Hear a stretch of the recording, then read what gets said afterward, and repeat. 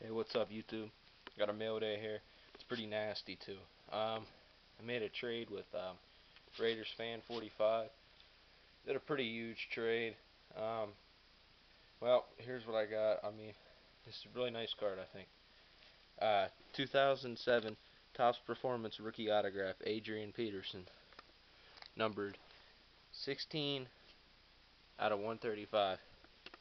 Yeah, I'm pretty happy with that.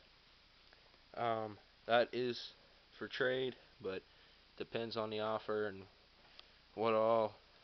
And uh, yeah, all right. Um, make sure you sub the Raiders fan 45. He's a great guy, great trader, fast shipper. Um, and uh, don't forget to sub here. And um, all right, guys, peace.